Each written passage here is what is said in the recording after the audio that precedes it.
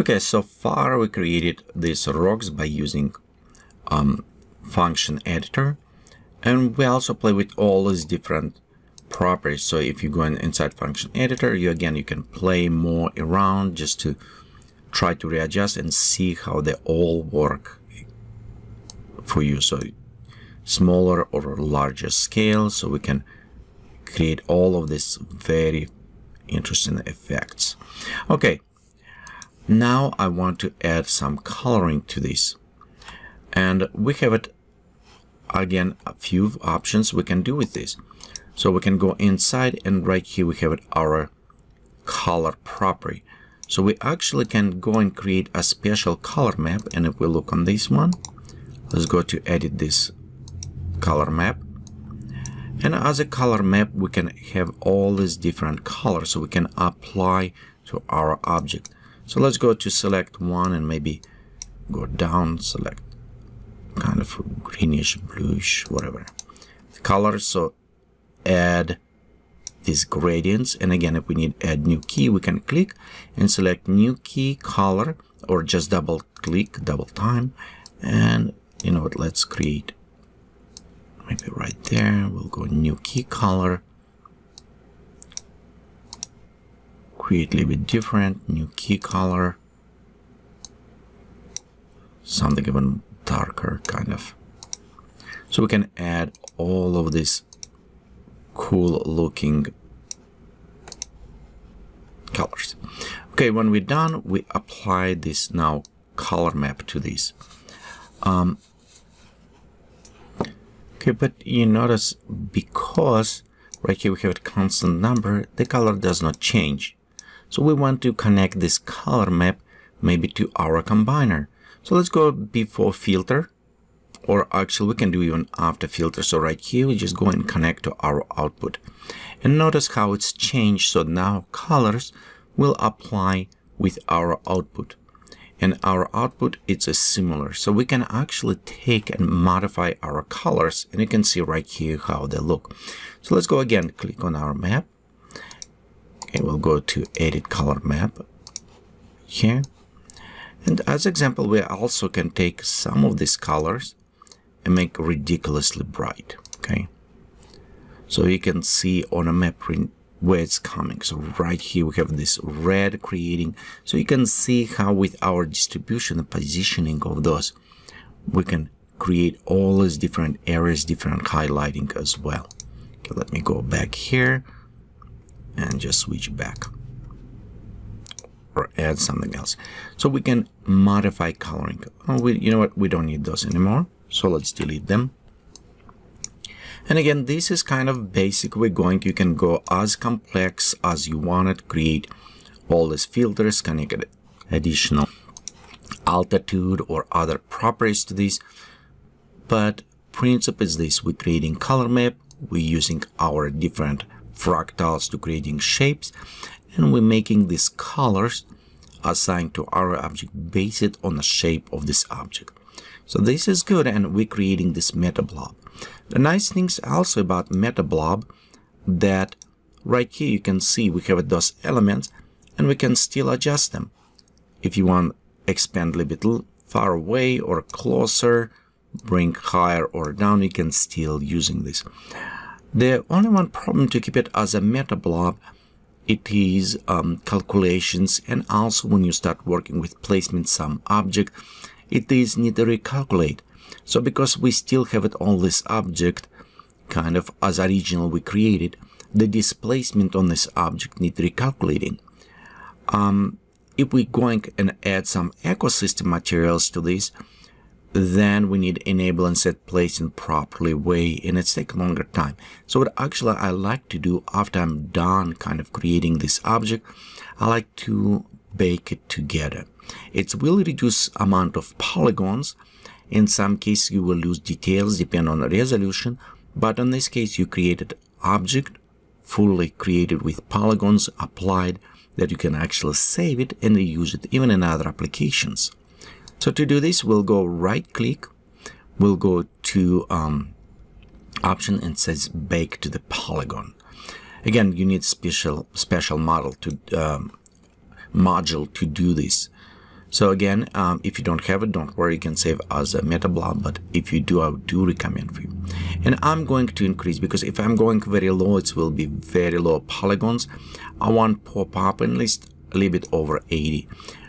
Um, remember, the higher you're going, the longer it will take time to process and based on your machine. So let's go leave it about 80.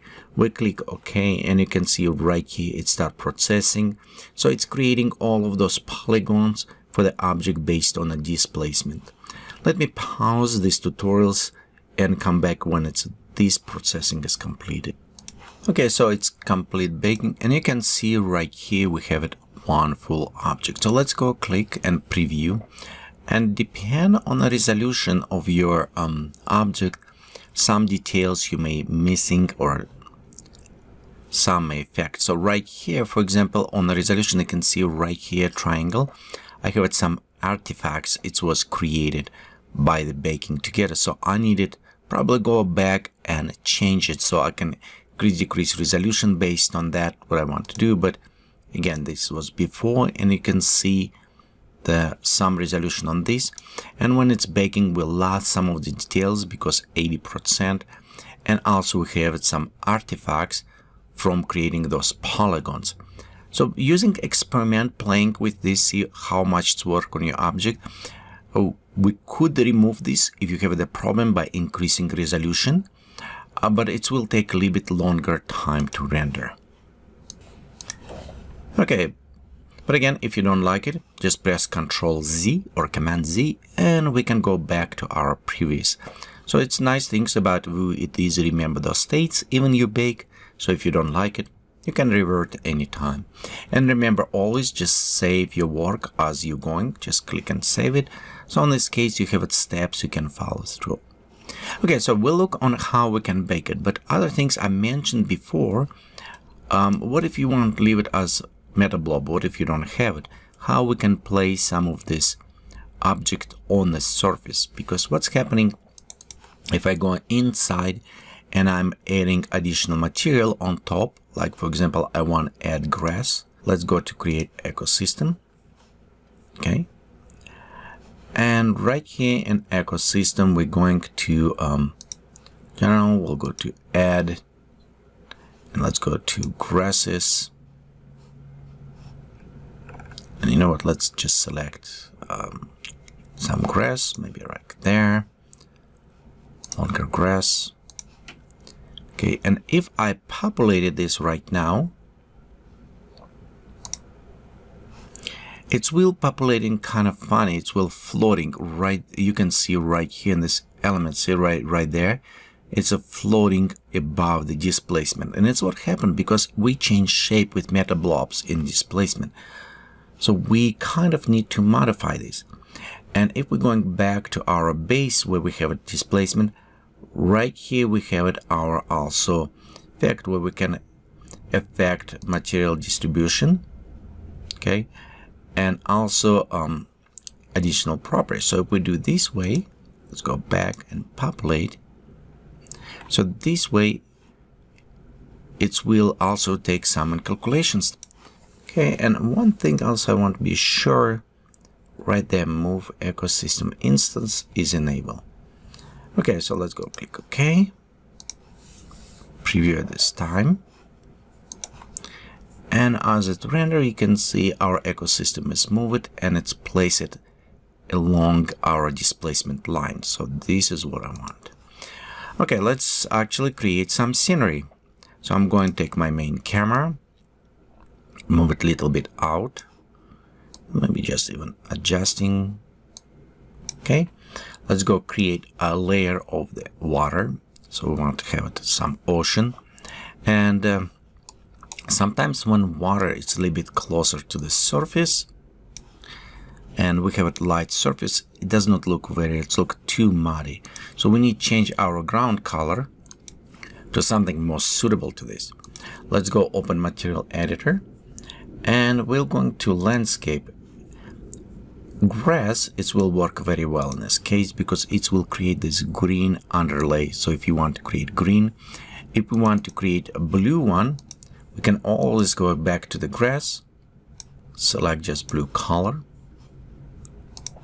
And you can see we can kind of simulate this blue color underwater. So we can play a little bit more with those settings around there okay let's take our main camera bring even a bit closer to water surface like almost we in a boat.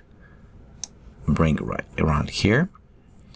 Okay we'll go on our meta blob open more for our materials and I'm going on this grass. Let's go you know what? Let's go add something else and we can add all these different um, type of the plants. And this is what I recommend for you. I recommend to add as more we add more interesting more mix it will look around creating very natural look. So we'll go there and you know let's add maybe some other plants. So we have aerial. Let's go add this one. I know some of them maybe not even grow together but they look interesting when you place them right around there. Okay around let's go set our density higher we have a very green island here. Also I want to enable lean out. So we'll go and scale. And right there lean out. So they kind of start going let's let me show you. So we're going all the way. Look on these edges. When we start they kind of start hanging out. Like almost fall from the island. So it look kind of interesting more natural or effective. Okay let's go ahead render. Okay, and it's start getting kind of more interesting I think? Also I want to add maybe green moss on some areas right there around rock. And for this we'll go to create another layer. So let's work with this in next portion of the tutorial